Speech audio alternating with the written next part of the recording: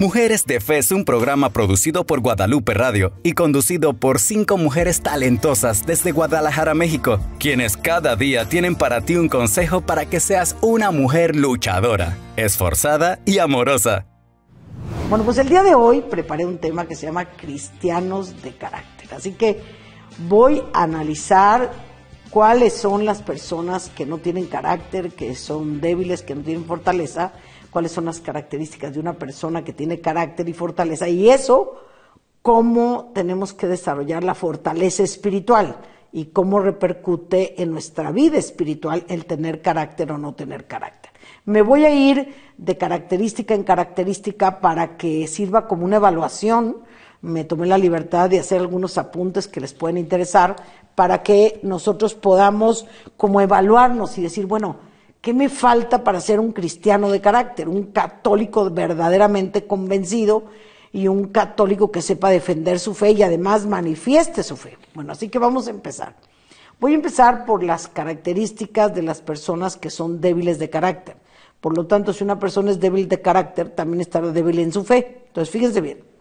Estas personas son fácilmente manipulables, lo cual una persona que es fácilmente manipulable puede caer muy fácilmente en el esoterismo y ahí es donde van a las limpias y van al reiki y van al yoga y a todo lo que te vende la nueva era porque es muy atractivo, ojo, muy atractivo. También carecen de un criterio propio, una persona que no tiene firmeza de lo que cree, de lo que piensa, que es de lo que dice lo que le dice la comadre o lo que le dice Pedro, pues ese ese criterio no está bien formado. Uno de los graves problemas que, tenemos los católicos, fíjense bien, hay una frase incluso que dice católico ignorante, seguro protestante.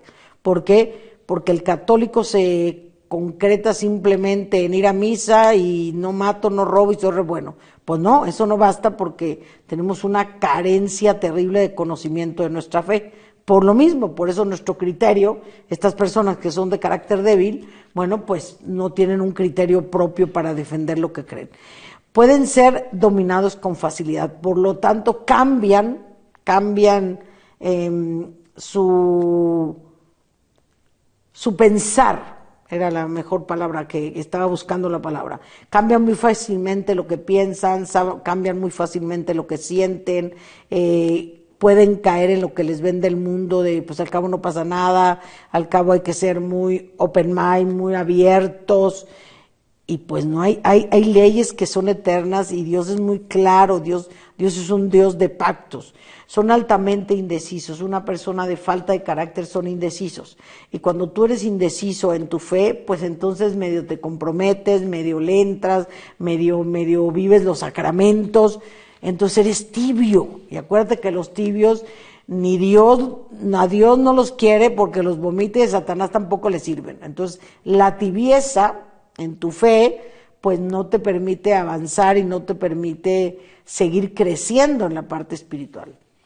También suelen ser muy volubles. Hoy sí te amo, Jesús, contigo, ya sabes, yo me muero hasta el final, pero la cruda verdad es que a la semana o a los 15 días sales del retiro espiritual y estás emocionado, pero cuando te llegan los frentazos, cuando llega la vida diaria que tienes que enfrentar y tomar decisiones, ahí te haces como, como los caballos para atrás y no quieres brincar ese obstáculo, ¿no? Entonces, estas personas, estas personas tan volubles, es muy fácilmente que el demonio las manipule.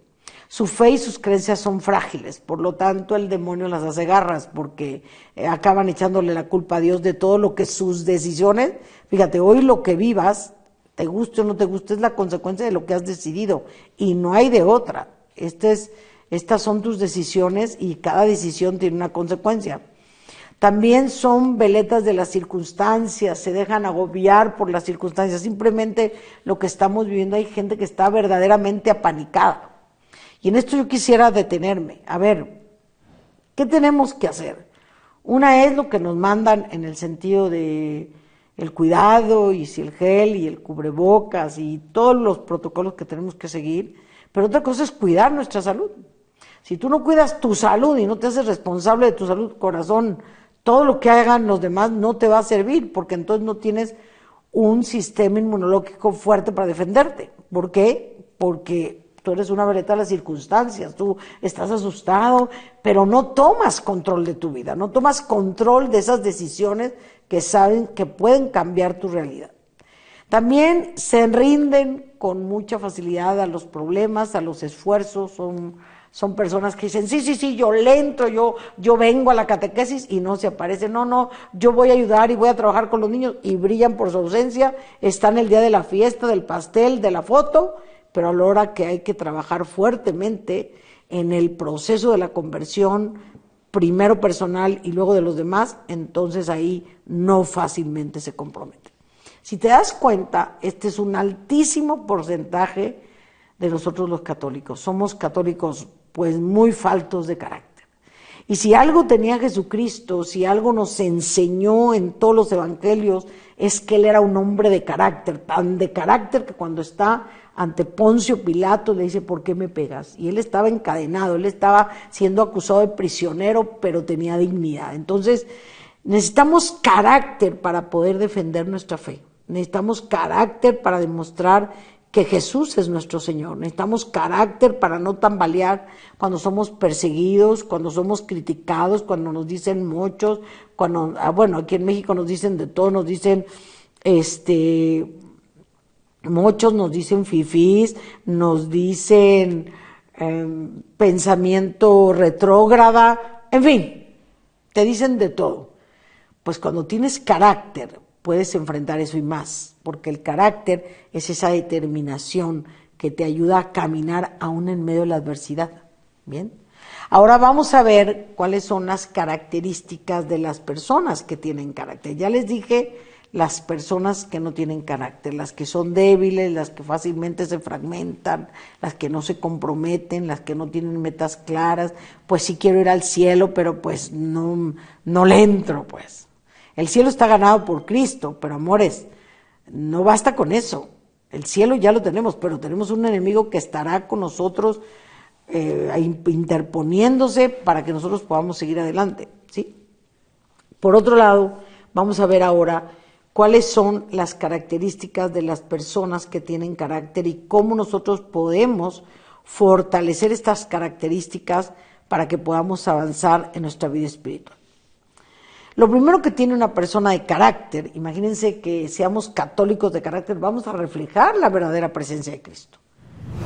Para continuar aprendiendo de este programa, descarga nuestra aplicación de Guadalupe Radio sin costo, registra tus datos de manera sencilla y continúa creciendo con nuestros contenidos para ser una mujer de fe.